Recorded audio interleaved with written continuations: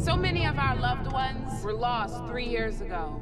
The disappearance of 2% of the world's population. Hey, we're still here. How are you doing? You know, like, wait through mom and all. She's not coming back. I'm trying to talk to my wife. Please come home. Do you know who it is? Her name's Nora something. Her husband and her kids all disappeared.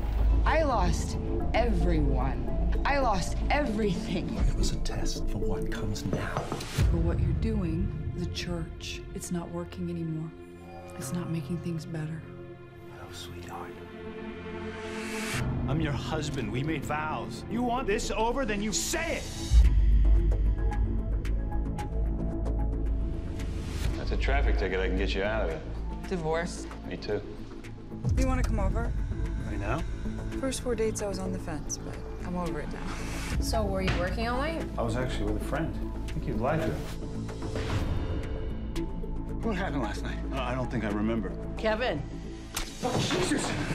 I have shovels in my trunk. Can I stay here?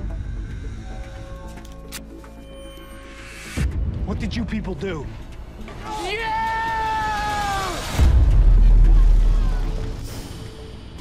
Look what I found.